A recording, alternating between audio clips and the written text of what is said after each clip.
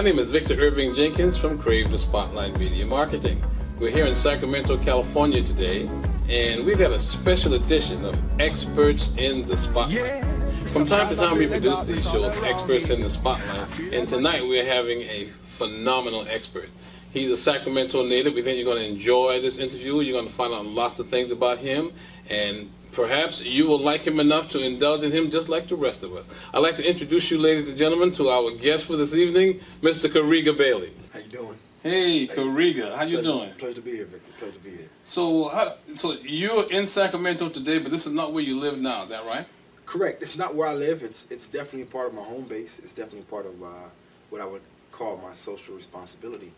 Um, but I, I'm in D.C. these days. I'm home in California, Sacramento, uh, for my book signing uh, particularly, and my documentary screening.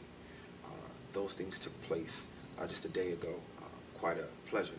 And um, I have a concert still um, at Harlow's. it's going to be very exciting to be able to present this type of hope music. Um, then I have a, another engagement with Mayor Johnson and the Indivisible Initiative. So it's quite a lineup. Karega, all the things that you just told me, do you have a job too? I do have a job. I um, I report to work each day as the dean of students at Maya Angelou Public Charter in D.C. Um, and it's funny that you should ask that question because I manage my relationships here in California still, as well as I do that in D.C. Uh, my students know my schedule. Uh, they know when I, they know what weekends I'm going to be out of town, uh, and they totally support it. They love watching their dean travel and serve them full time and making sure that I'm having the conviction to follow my dream. Now, before we get too much into what your dream entails and the surrender project that you're doing, I think it would be good for us to know a little bit about you, right? Uh, do you do you have a wife? Do you have children? I do have a wife. I'm happily married to Miss Felicia. Um, we live in D.C. We don't have children yet, although I will say that the capacity by which I serve my students um, has certainly taken on some ownership and, and, a lot like fathering. I never thought that uh, I would be in this function of what someone could perceive as a father figure to people who are so close to me in age in terms of generation. But uh, yeah, we don't have children yet. Um, we're in D.C. together uh, and happily married. Well, what about your family of origin? Do you have brothers, sisters, mother, father? I have a great family who kind of shaped me to who I am today. Come from a large family um, a Caribbean family. Mother father Jamaican. I have seven brothers and sisters, and we are all very close. Uh, we are all very uh, alike in a lot of ways. The family unit is very tight. We keep in contact regularly, um, and we are rich in love. And I think that's one of the things that really defines such our, our large family. You know, recently I read something you wrote about something that impacted the way that you feel about relationships. Could you tell us a little bit about that?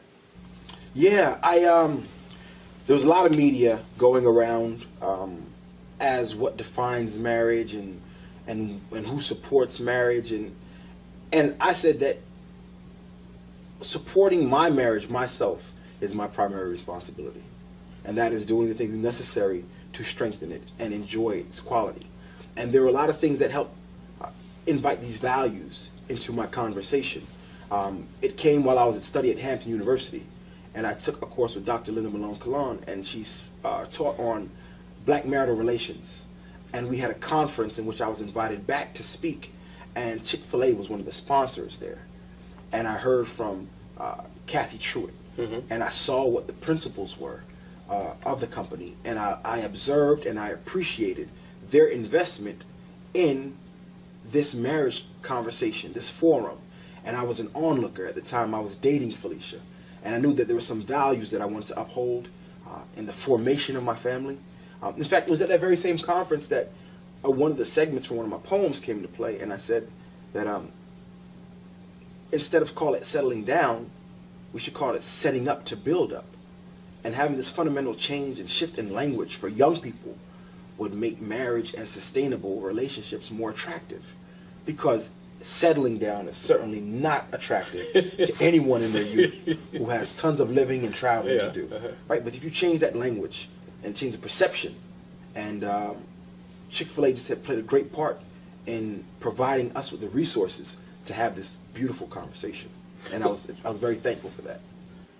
So what you're saying is, instead of describing the step in adulthood that we call marriage, instead of defining that as settling down, we should define it as setting up to build up and understanding partnership and understanding goals and understanding each other and the just the myriad of data that speaks to the quality of life when married and the quality of earning when married and the quality of health and longevity when married.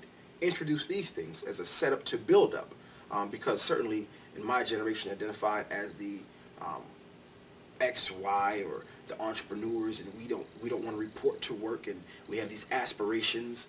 Then helping understand how relationships, just the human in, involvement, can help you achieve that. I think is very important, and um, it was a large influence on why I selected Felicia uh, to be my bride and now my wife and my partner, and we just achieved incredibly together.